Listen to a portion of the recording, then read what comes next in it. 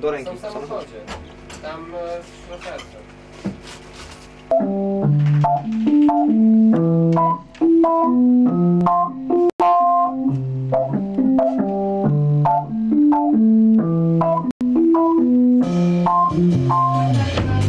Moje